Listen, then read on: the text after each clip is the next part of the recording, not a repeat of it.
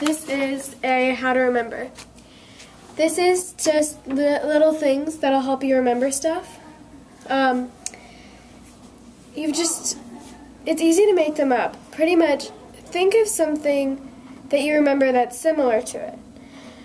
Like for RI, feminine altar, you could think, okay, I remember that was used in a translation I did.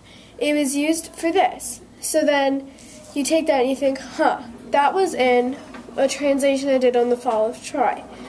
So ara arae was used because she was sacrificed in front of the altar.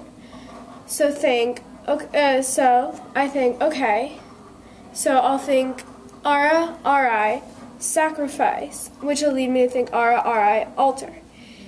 You just make up little things like that and depending on what you know and what you remember from different things. And, and it'll be easy just to remember them by giving yourself little key words.